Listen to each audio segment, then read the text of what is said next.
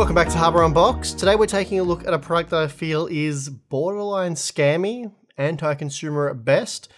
Hey, maybe I'm just being dramatic. So we'll take a look at it and see what you think. The product in question is one of the sort of new AM4 processors that AMD's recently released, which of course is technically not a new processor, but rather binned silicon, repackaged as something new. And I've got to admit, AMD got me on this one. I was pretty excited to hear that there was a Ryzen 7 5700 incoming, and that's because the 5700X is one of the best value CPUs available right now, and that's certainly true for AM4 owners. Now, it has sold for as little as $170 US, which is amazing value for a relatively powerful 8 core 16 thread processor. So, my initial assumption was that the 5700 would be a 5700X with 100 to 200 MHz lopped off, and a price tag of about $150 US or less. But you know what they say about assumptions, and damn it, they're right. Last week I threw down a thousand Australian dollars to buy all of the new AM4 processors, including the 5700X3D, which we've already looked at now. But getting back to the 5700, here's the issue. And to best illustrate the problem, let's go back to the original Ryzen 1000 series. Back in 2017, you could buy X or non-X versions of multiple models, with the only difference being the clock speed. Though of course all of the parts were unlocked anyway, so it didn't really matter too much.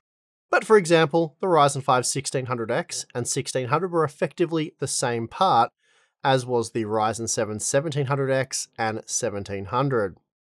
Then we got the Zen Plus parts in the form of the Ryzen 2000 series, and we saw a similar naming structure. The 2600X and 2600 were the same part with a minor clock speed discrepancy, and the same was also true of the 2700X and 2700. Now, with the Ryzen 3000 series, we did get a lot more models. Pretty heavy product segmentation was now taking place with the growing success of Ryzen. But for the most part, the same rules applied. The Ryzen 9 3900X and 3900, for example, they were the same CPU, so the same core count, same cache configuration. Again, the only difference being a 300 MHz clock speed advantage for the X variant. And technically, this was true for all retail models. However, AMD did release a non-X version of the 3500X, but it was only seen in the OEM channels. So it was called the 3500. But with this part, they broke an unwritten rule Whereas the 3500X came armed with 32 megabytes of L3 cache, the non-X version retained the same core configuration and even the same operating frequencies, but saw its L3 buffer slashed in half to just 16 megabytes. But this model managed to fly under the radar for years as it was an OEM only part, meaning you couldn't just go and buy it, at least not without purchasing an entire system, which we probably would have done if it wasn't for the fact that it was an exclusive to Japan. So AMD got away with that example, at least with us, and that's a shame because the 3500 is a very misleading product. Halving the L3 cache has a huge impact on performance, especially gaming performance. So keeping basically the same name, big no-no. Now, moving over to the Ryzen 5000 series, we again find, for the most part, things are as they should be. So non-X models, such as the Ryzen 5 5600, are the same as the X variants, but with a slight reduction in clock speed, 200 MHz in that example, and that results in a very minor performance drop. As a result, most opted for the 5600 over the 5600X as it offered basically the same performance for what was typically around a $30 US saving. And of course, being unlocked, you could overclock it if you wanted to. So, with the recent arrival of the Ryzen 7 5700 to retail markets, I'm willing to bet most people will just assume that the 5700 is a 5700X, so what the 5600 is to the 5600X. But sadly, that is not the case at all, and far from it in fact. Rather than a slightly wound down 5700X, the 5700 is actually a 5700G, but with the integrated graphics disabled. This means the 32 megabyte L3 cache of the 5700X has been halved to 16 megabytes, a significant reduction which will hurt performance. It also forgoes PCI Express 4.0 support, limiting PCIe bandwidth to the 3.0 spec, another fairly major downgrade. Now, releasing a 5700G but without an iGPU is perfectly fine, but really it should be called the 5700F, or probably really the 5700GF. Either way, it absolutely shouldn't simply be called the 5700. That is incredibly misleading. Initially, AMD had planned to get away with this deception by simply selling the 5700 on the OEM market and have done so since April 2022, only announcing retail availability back in December of last year, with actual availability only happening locally over the past few weeks. I purchased my model from PC Case Gear for 270 Australian dollars, which is currently the same price that you can purchase a 5700X for, though you do get the Wraith Stealth cooler with the 5700. So you might be thinking, okay then, no harm done. Anyone paying attention would just buy the 5700X if the 5700's the same price. I guess fair enough, but also keep in mind the 5700 has just been released, so its likely pricing will settle down shortly, seeing the 5700 come in a bit cheaper than the 5700X. And looking over at Newegg.com, that's certainly the case with US pricing, as the 5700 has been listed at $175 US, while the 5700X is currently $205, so a 15% discount there. And that's possibly more problematic as the $30 US saving is more likely to see buyers go with the 5700, especially when it's unclear what the real differences between the two are. Anyway, we've established now that the 5700 and 5700X are very different products, despite what you might assume based on the naming. So how does the 5700 perform? Well, to find out, we've got a series of gaming benchmarks, which I'm going to briefly show you before we take a look at the 12 game average. Because, spoiler alert, as I've said, this thing is merely a 5700G with the iGPU disabled. Okay, into the benchmarks we go, and starting with ACC, we see just how slow the 5700 is relative to the 5700X, and even 6-core models such as the much cheaper Ryzen 5 5600. In this example, the 5700X is 22% faster than the 5700, meaning no matter which GPU you use, the 5700 can't render more than 94 FPS in this test. Moving on, we have Assassin's Creed Mirage, and here the 5700X is 16% faster than the 5700. But again, even the Ryzen 5 5600 is faster, though only just in this example. Still, as you'd expect, once you know the specifications, the 5700 performs like a 5700G. The margin is even smaller in Cyberpunk 2077, but even so, the 5700X is still 13% faster than the 5700, which is a bigger margin than you'd expect based on just the model names alone.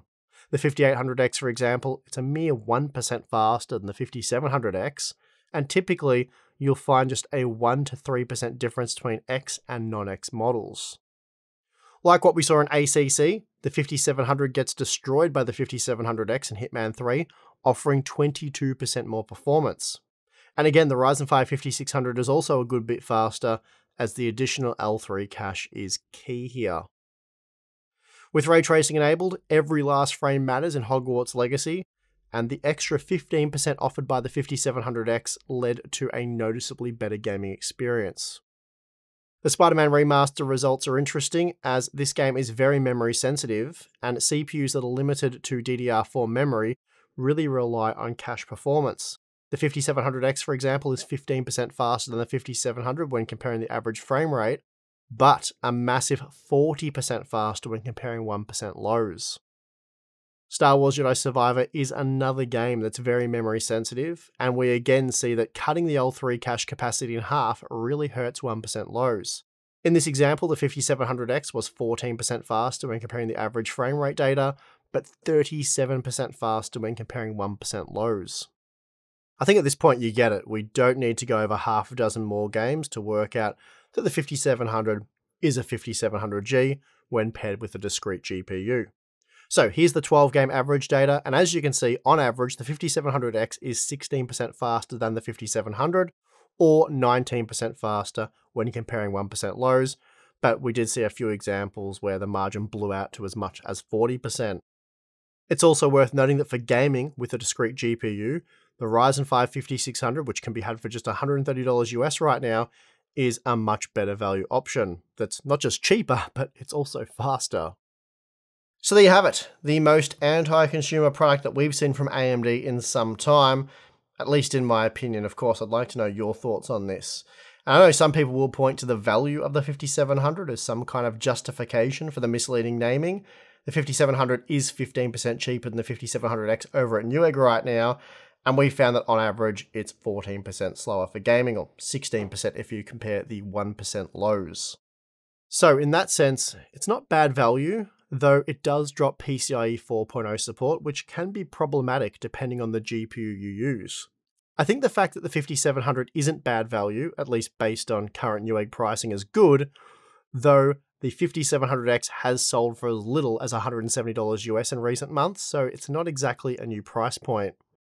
My main issue is that you're not getting what you'd expect based on the name. I've even spoken with a few people in the industry, people who are fairly up to speed with these products, and all of them just assumed that the Ryzen 7 5700 would be a slightly dialed down version of the 5700X. And some of these people were even going to sell the 5700. Again, I even bought the 5700 under the same assumption, and although the part has technically existed for years as an OEM only model, I've really never heard of it until recently when I could actually buy it.